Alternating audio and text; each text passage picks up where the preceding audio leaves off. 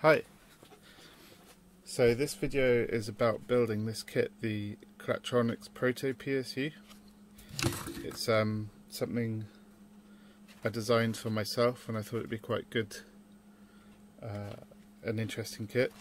Trying to make it sort of beginner friendly, although not as big as beginner friendly as um, the speaker kit I made. There's a few more parts and you had to be a little bit more careful about um, getting the components in the right places. Otherwise it might get a bit hot. Um, when built it should look a bit like like this. It pushes um, power rails into your breadboard. So you um, have uh, plus and minus 12 and 5 volts. I decided not to go for connecting to these directly um, with these pin headers, if you see. It's these pin headers. Showing the micro in the. Well, I can't really. Um, I decided not to go straight on those rails because I discovered there was a lot of variation between breadboards and um, I wanted to make it as universal as possible. So it's designed to push into the first four rows at the top of a breadboard. If I just find a blank one. Well, I find it. Here's a totally different breadboard, and it will even connect to this one because it just connects to the first four um, rows each side of a a, a dip um, gap. So, like, to simplify, it will also fit in this one, for example, like that. And you can see that you got ground 12 volts minus 12 volts plus 12 volts and 5 volts. And here we don't even have the rails and we still use it. I can show you close up with the microscope perhaps. Wrong way.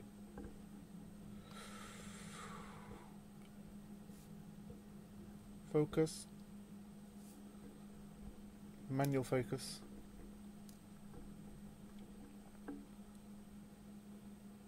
like that. Anyway, uh, that's that. Um, but it also it comes with a front panel. Uh, I've just misplaced the front panel. Probably should have made sure I had this to hand. Where did I put it? I put it somewhere I can't see.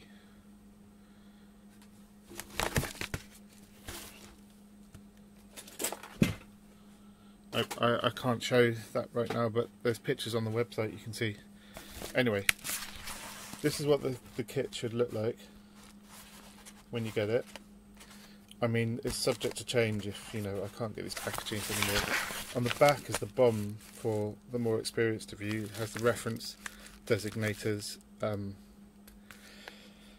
in relation in relation to the um, parts. You know, if you can easily decode these, uh, you get a bag of um, hardware parts, PCBs wrapped up in tissue paper, and the non-static parts, and um, the static sensitive parts in another bag. So that's four bags.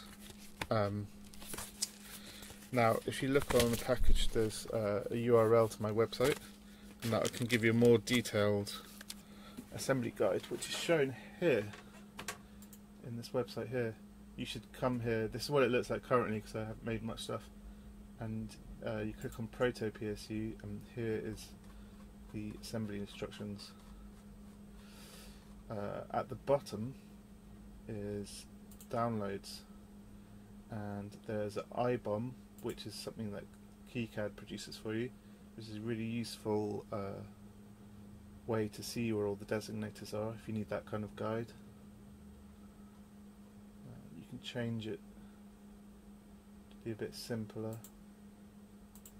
If we just want the front of the board for example we should probably want that.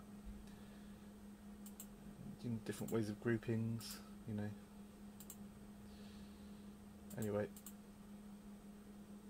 how do I get? Where was I? I changed it like that. Hmm. This is grouped by. Yeah, that's per and grouped by designator. So you could do each part. Grouped by designator is probably the best. Anyway, I'll undo the. I'll show you the PCB. So just put this bag aside.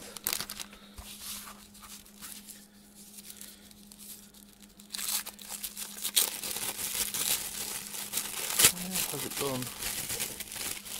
I can actually show you, just because I've misplaced it, I can actually show you what the, this is what the front, this is the different way of assembling. You can get a front panel.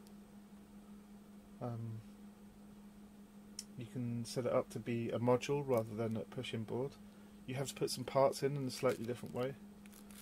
Uh, we won't be showing that now. Uh, in this board, in this assembly guide, I'll only be showing you the uh, front using the push the breadboard mode because, to be honest, that's the best setup. But I just added this in as a bonus. You get this um, front panel design, and if you look, let me set up this. Focus. If you look um, is this focus? Yeah. If you look, this is the top of the board.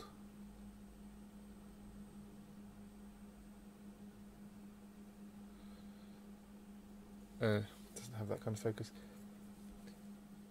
This is the top of the board.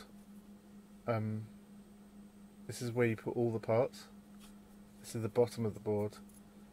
You do not put parts on this side except if you're making a front panel version because the DC jack goes there and the LEDs come out on this side there. So you end up with the front panel like this and the board is on the back. Um, you should be able to see more if you look on the website. But I will not be showing this as an example. I think this is kind of, eh, a very niche um, extension of the kit. I think the most useful form of it is actually as a breadboard, push-in breadboard device. So, let's look at the instructions.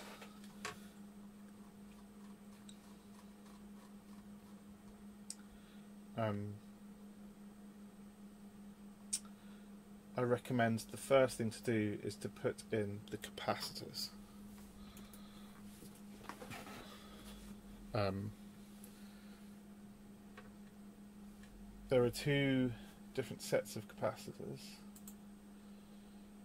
Um, there is 100 UF and 10 UF, and they look exactly the same. So let's get those.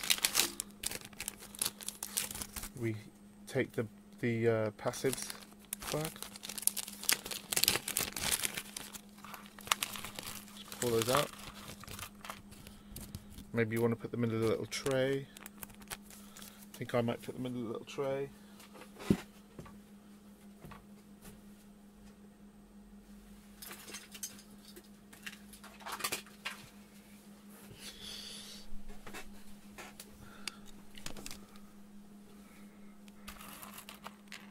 You just want to be careful that they don't roll off.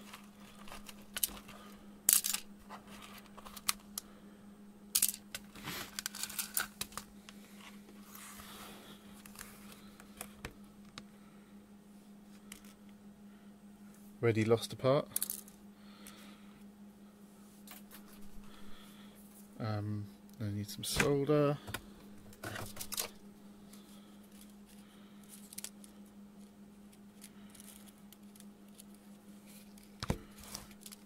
soldering iron. This is my one.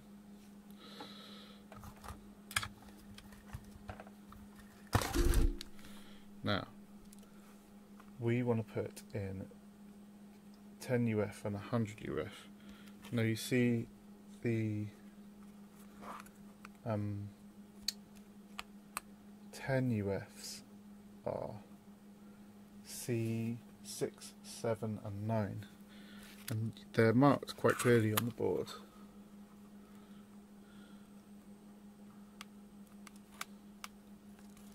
Where am I? See C9, C6 and apparently C7 is up there. Go that way. Over there. Now, make sure you do not get confused between the 100 microfarad and the 10 microfarad part. If you see, on the package, this one says 100 microfarads. That's 100 and a little u and an f. This one says 10 microfarad and looks exactly the same except for says 10 microfarads okay so we want to make sure we have the three 10 microfarad parts guessing it's these three no that's 100 100 100 hundred.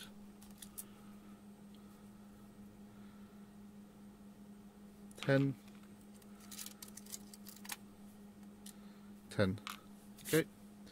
I'm going to put them in C. Six, seven, and nine.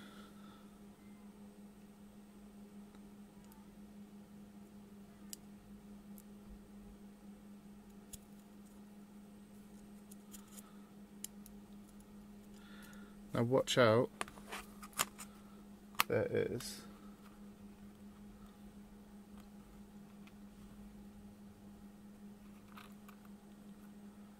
a polarity. The square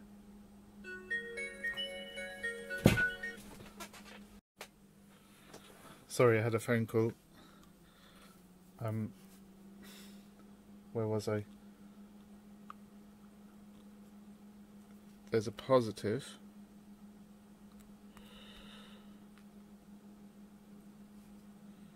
There's a positive symbol here you see and that means this pad is positive. If you look at the capacitor it has a short leg and a long leg. The short is negative the long is positive. If you see also there's a negative stripe for where the negative side is. So we just put those in. Be absolutely sure to get these right because you can get strange failures if you don't get them the right way around. If you're not totally sure they're in the right way around, refer to the images on the website. You should be able to see which way round they are on the board.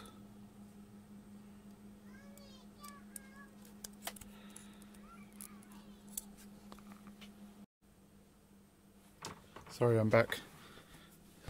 Um, so let's solder those three in. If you want to double check that they are right, you can look at this first stage. You can see roughly what they would look like. Actually, you know what? Let's put also the 100 microfarads in at the same time. So, back this. So the rest of these cans, these electrolytic capacitors are 100 microfarads ones that we were talking about earlier.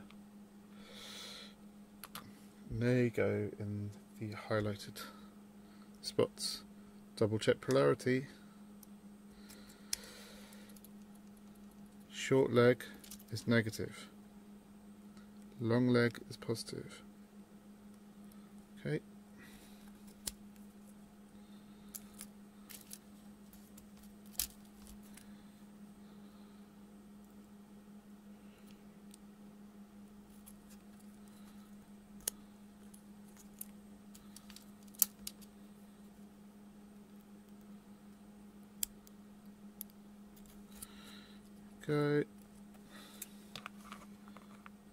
Just it.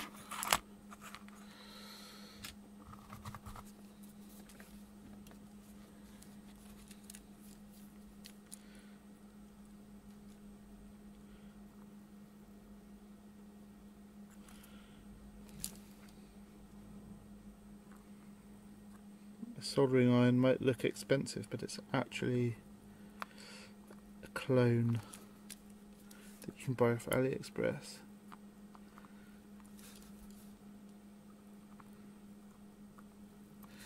You don't need anything even that fancy. You could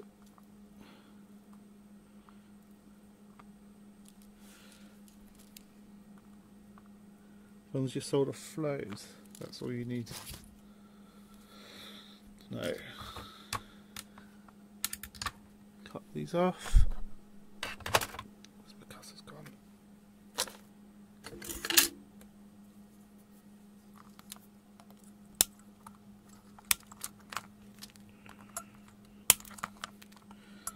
Now, if you wanted to make the front panel version,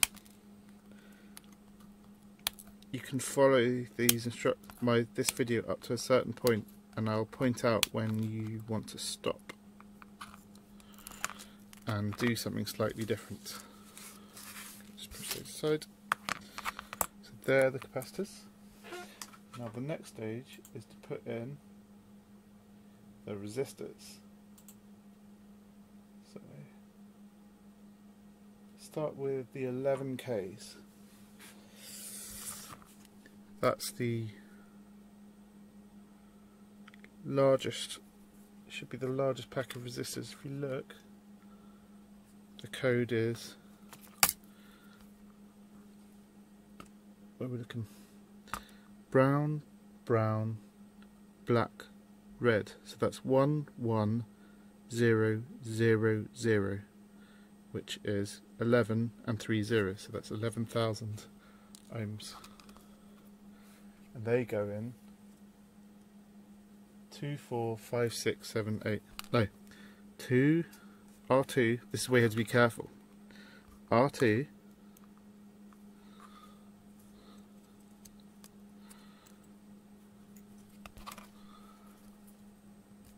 R4.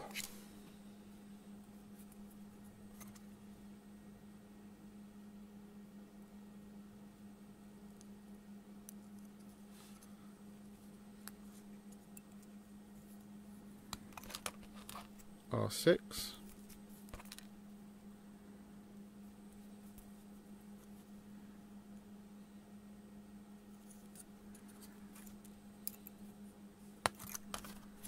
R7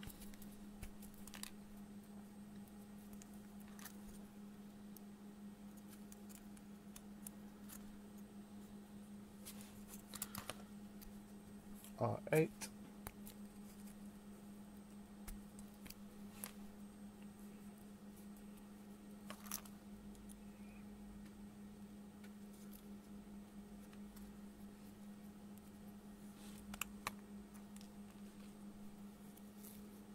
Hmm. Oh, I missed R5.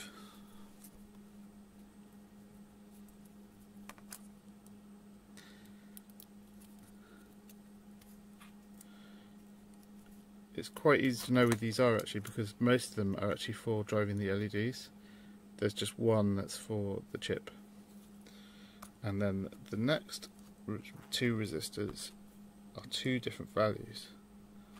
They are R1, which is 220 micro ohms, which is quite an unusual value. Which might actually change. Let's not talk about that now. So it's 2, 2, and silver, which, no, it's 0, 2, 2. So that's 0, 2, 2, and then silver, which means 0.1 I think. Sorry, I need to remember, I can't remember. Anyway, it's the silver one, and that's R1.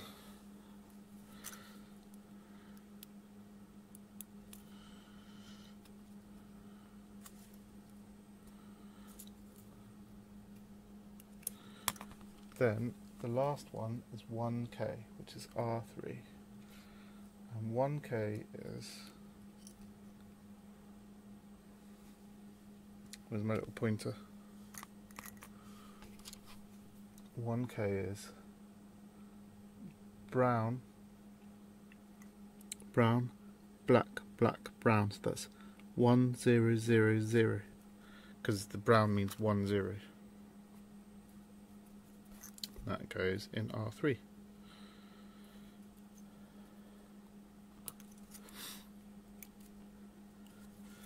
And then we solder all those up.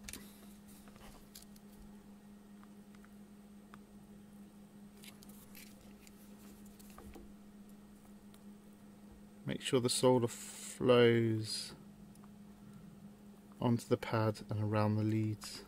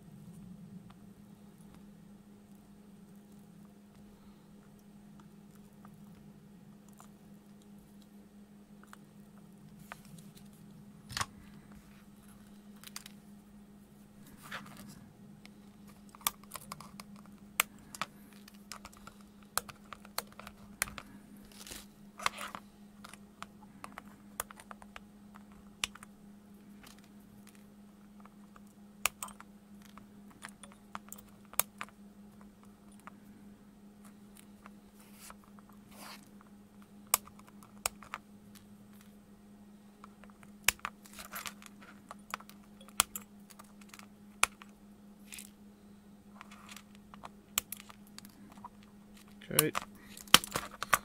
Now the next stage is putting in the capacitors and the polyfuses. Now these look quite similar. These are polyfuses, they're not actually capacitors. The way they work is they um, they uh, go high resistance when too much heat, when too much current passes through them. Um, they're not ideal, as in they won't instantly switch off if you slightly exceed the power, but they will. They will definitely um, save you if the uh, um, you have a short across one of the rails. It also helps to protect the um, inverting regulator that gives us minus 12 volts. And if you see, it's F1 and F2. There's no polarity for them, so put them in whatever way around you want. F1 and F2. And then the next thing is this tiny multi-layer ceramic capacitor.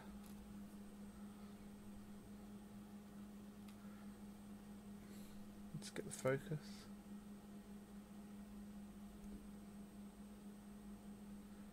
It's 221 for 220 microfarads, which is C. Uh, sorry, not microfarads, two, 220 puffs, 220 picofarads. So that goes in C2. No polarity this time either That goes there. Slot all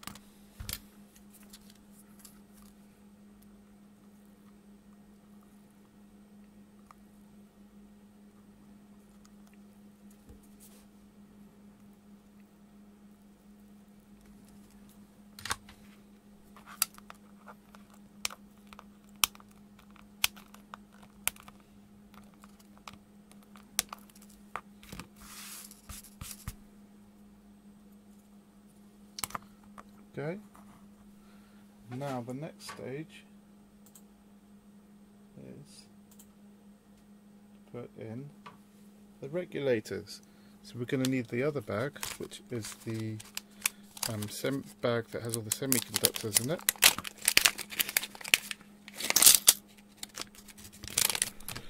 And these big three-legged parts are the regulators.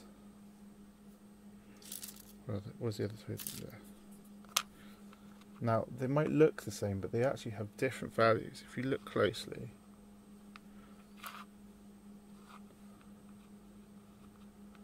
this one says 7912. That is U3. You see there? So that needs to go in here.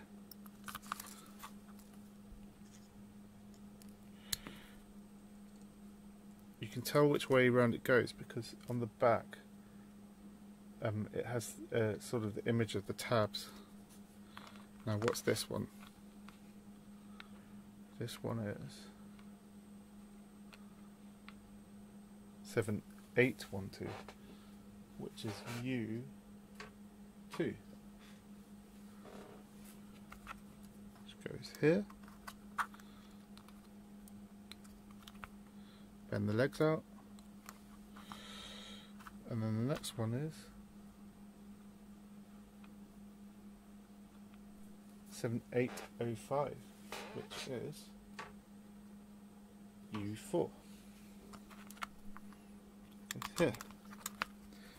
Now these three linear regulators take in the 15 volts, one of them takes the 15 volts down to 12 volts, then the, the 12 volts gets fed into the 5 volts and um, creates 5 volts, and then the 15 volts goes into the switching inverter, which produces minus 15, and this minus this um, minus 12 volt regulator creates a minus 12 volts. So we have a tiny bit of linear regulating between in front of each rail. Hopefully to smooth that out. I'm not sure how effective it is because they're really designed for mains um 50 60 hertz mains and switching frequency is actually in the kilohertz.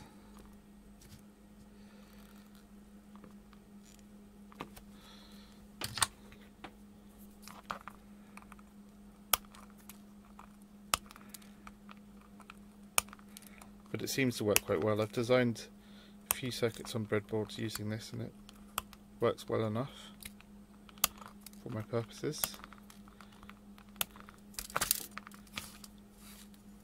Go. You can bend these back and forwards if you want. And I actually designed this so that if you did actually want to, uh, there's not a ton of space. Like you can't put on a classic heatsink, but um, you might be able to put on bits of metal or whatever to try and improve the the uh, heat performance of the regulators. Now, the next stage is putting in the sockets. Now, there are reference designators for this, but actually it's quite obvious, so you shouldn't really need them. we need the third bag, which is the hardware bag. And we should have the socket for the dip in the piece of foam from the uh, semiconductors bag. Now be careful here, the the if I show you the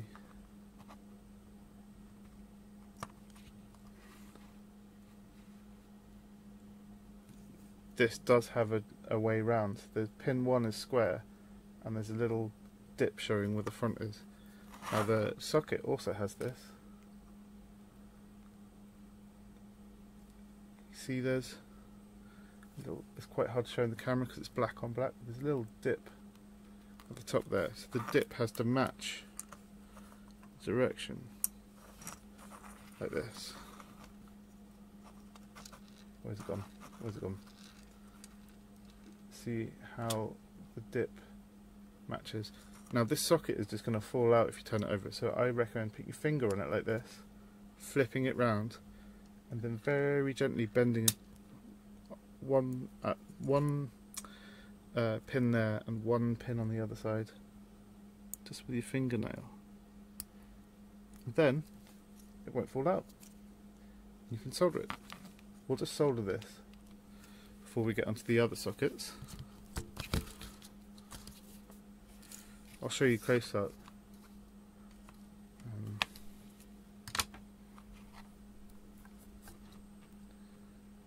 see how I have bent that little pin over. Zoom up. Quite hard to see because it's metallic. Anyway, I'll solder it.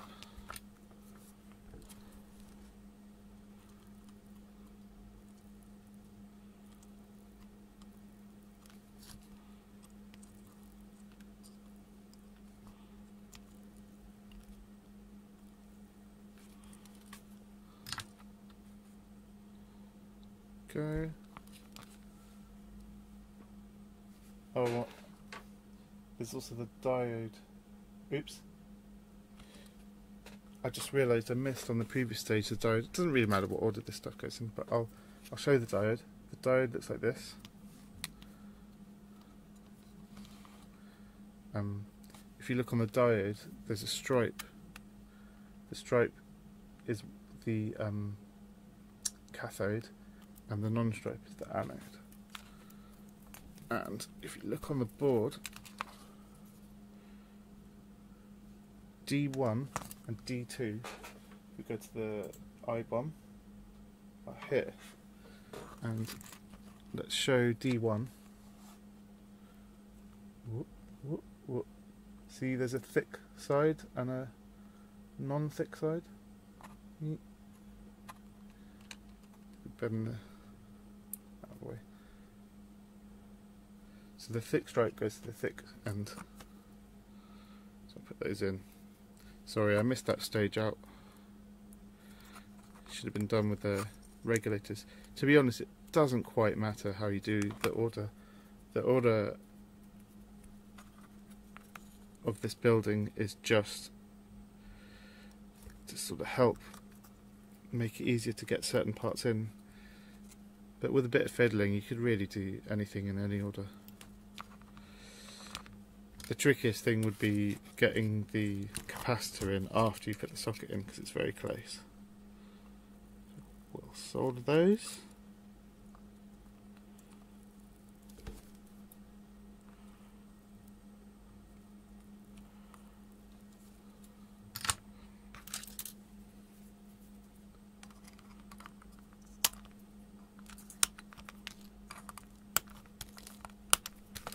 There we go. Now the next stage is where we were, which is the socket. We're putting in the inductor to. The inductor is this big fat part here. It might be, it's not really marked, but it's quite obvious what it is. It doesn't have a polarity that we care about. Stick it in there, bend the legs out. Solder it.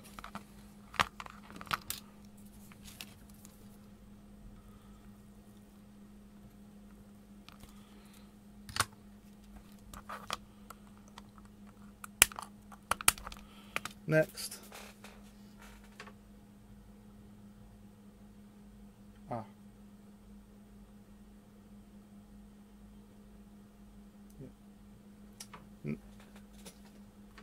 Next, we want to put in the sockets, the um, Eurorack 16 pin power sockets. Um, these have a polarity. If you look, there's pin 1 is marked with a triangle. And the key is marked as well. And all you need to do really is make sure the key is the correct way round. And the connector actually has if you look closely a little triangle on it. See that? Yeah. So the triangle goes where the triangle is on the board. Now we can't really bend these pins because they're quite chunky. So the best way to do them, well, my way of doing them, you could use Blu Tack if you wanted to. I hear people use that. I just hold it in, making sure I'm not touching the pin I'm about to solder. And then I get a bit of solder on my soldering iron, I tab it onto one of the pins, tab it on the other end. That might be a bit advanced if you're new to soldering. I suggest maybe also um, using the Blu Tack method, which is where you just push it down onto a big ball of Blu Tack and solder it in place. I always suggest, no matter what method you're using, just soldering a couple of pins first on each end, just one pin at one end, one pin at the other end, and then just double checking that the socket is seated fully. And if it's not, you can just push down and melt like this. You might hear a little clicking sound. It pushes in. Anyway, that's that. Double check you've got the headers on properly. You you would only put these you would put these headers on even if you were doing the front panel configuration.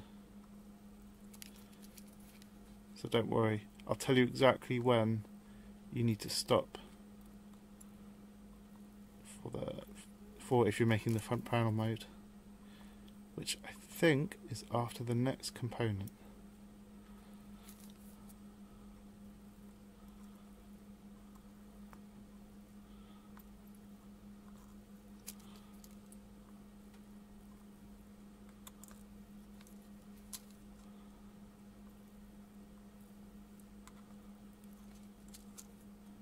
Takes a bit of time doing 16 times 2 pins. There we go. Now that's mostly done. Now the next thing to do is put in this little header. This is so you can um, tie in power through a screw terminals instead of having to use a DC jack because it can be quite hard to find those. Good if you're connecting it to a power supply. Now this is mega loose there's no way that um, this will hold in. So you're either using Blu Tack or your finger, try not to touch anything hot, tab it in. Like that. Make sure the actual sockets are facing outwards, like that.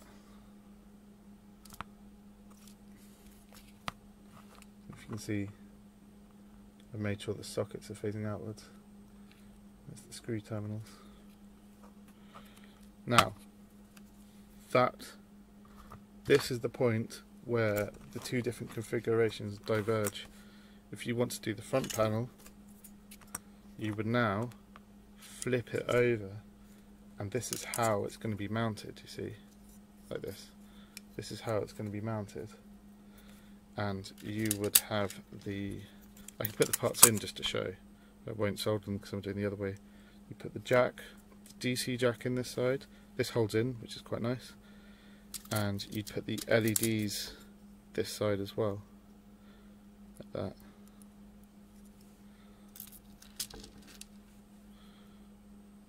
I recommend sticking the spacers on and screwing the front panel on before soldering anything because then you can get it all configured nicely to the front. But I'm not going to show that in this video. Um, I'm afraid that's something you have to work out yourself. Because I'm only showing this way in the tutorial video. So now we put in the LEDs and the DC socket. So for the breadboard version we put it this way round and we put the socket in like this now don't worry, the pins are made so it can go on both sides, but luckily it's asymmetric, so if you're on the top it'll only fit in one way round, which is this way, like that, and what else do we need? We'll just do this, we'll just solder the socket first, make sure it's pushed in nicely, just tight enough that you don't have to worry about holding it down. Solder it in. Now the LEDs, I recommend just pushing them in. The LEDs are polarized. Uh, this LED doesn't actually have a marking on it to show whether the positive and negative.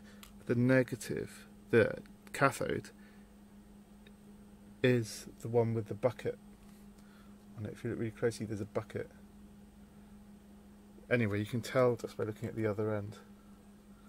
There's a short leg. And it even says it on the bottom of the board as a guide if you look. Anyway, you have to trust me, it says here, short leg. But you want to do it on this side, the top side. So we do the short leg, where the square pad is.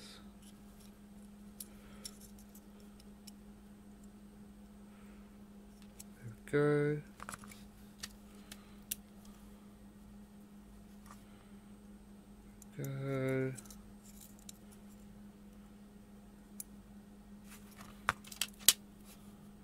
Go.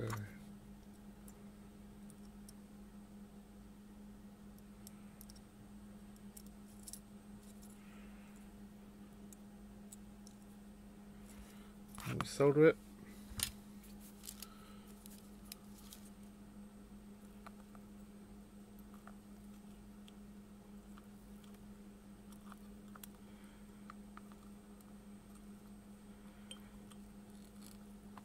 Seems to have a silkscreen error here.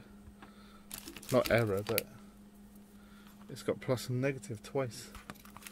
It's correct, but it's just uh, looks a bit strange. Sure that will disappear on future revisions. Okay, that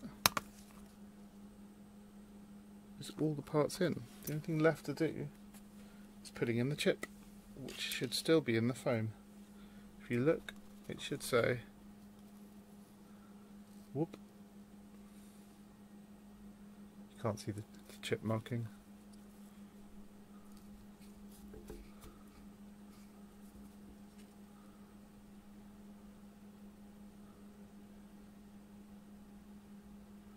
It says UTC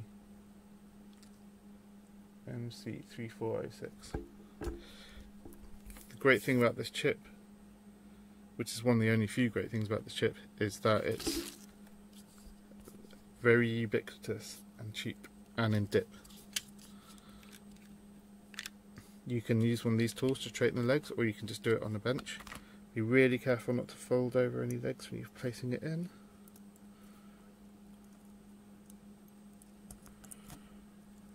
There we go. Now that should work. Now be super careful with this board because if you get any values wrong, especially if you get the resistors um, as part of the switching circuit and um, voltage divider circuit for the switching circuit, is you could end up with uh, a little bit of heat, let's say. You might need to buy a new chip. Um, so go back, go through the back through the instructions, and just double and quadruple check that everything's the correct way around, the right values, in the right locations. If you don't, if you can't work out the resistor colours because they can be a bit strange sometimes, like red looks like brown. Use a multimeter to double check. Uh, I'm going to check it by just using the terminals you could use uh, a DC jack too with 15 volt power supply, tip positive. I am just going to use two headers.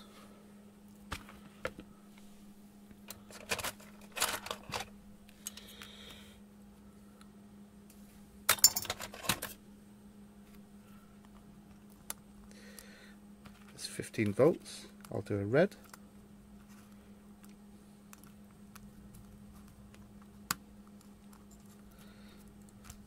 and ground I'll do as a black. Now this can be a little bit uh, nervous moment. You can do you can do a quick check with the multimeter.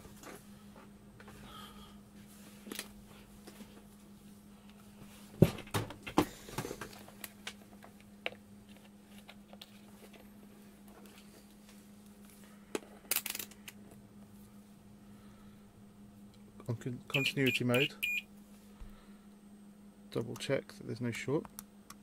You might get a little blip. The capacitor charging up. That's good. Double check for shorts on the bottom. Now, I'm using a bench power supply. You might not have this.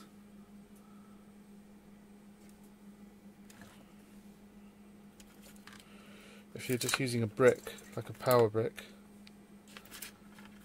can be a little bit trickier. Luckily, there's a diode, so if you do get the power the wrong way around, you're not going to have any catastrophic issues. I'm using a bench power supply, which is ideal. If you've got one, use it. Set it to 15 volts. Set it to current limit, but not too low because you you can end up um, fighting the regulation of the power supply. I reckon maybe like half an amp, maybe more. Let's try half an amp and I'll, we'll see. It's a good test. Uh, plug it in. Now we need to be able to test if it's working. So the ideal thing is get a multimeter. You always need a multimeter for doing electronics. So I recommend buying one.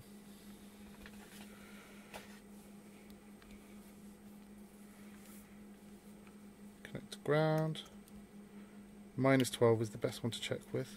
So it's a volts, 20 volts DC.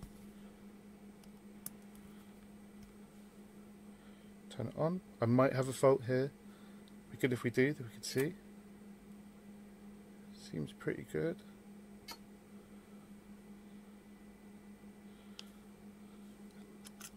seem like quite a lot of current, so I'm just going to double check the polarity of the capacitors. Positive. Nope, all seems good. Perfect. Do that again. Red on minus 12, black on ground. Getting minus 12.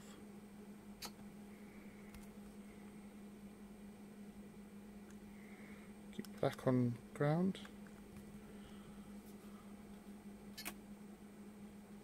Five volts.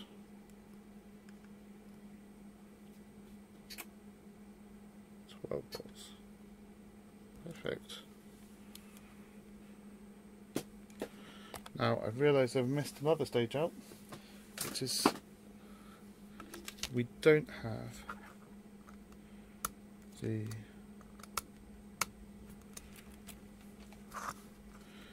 pins in for the breadboard. I recommend getting a breadboard. Where's that green one gone? I recommend getting a breadboard, getting the pins,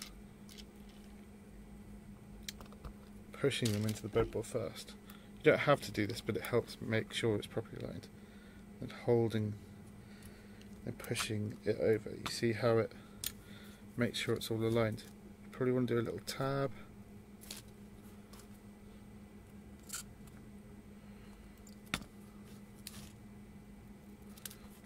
blob of solders to hold it all in, make sure it's flat, and solder it up.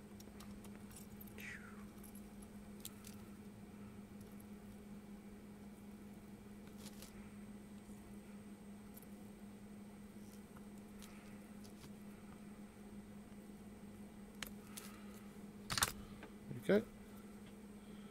And that's it built.